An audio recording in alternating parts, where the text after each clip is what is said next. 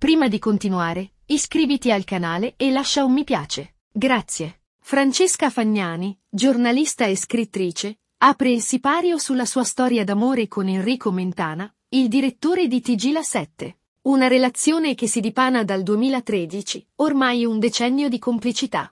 Tuttavia, la storia d'amore non è iniziata con un colpo di fulmine immediato. Francesca svela che si sono incontrati grazie ad amici comuni durante una vacanza a Cortina, in montagna.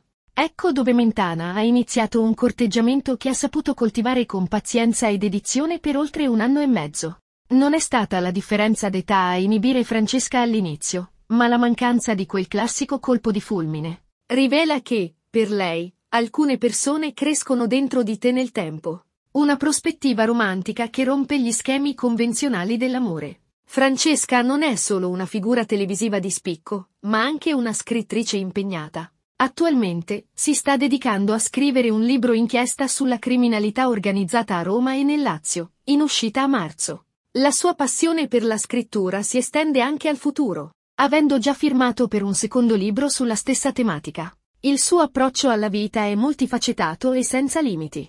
Mentre l'impegno televisivo la soddisfa, Francesca Fagnani è determinata a non fossilizzarsi su una sola cosa. La sua filosofia è chiara, non voglio scegliere. Finché sono cose nelle mie corde, io voglio fare tutto. Un'affermazione che risuona con una determinazione e un desiderio di esplorare tutte le sfaccettature della vita e delle sue passioni.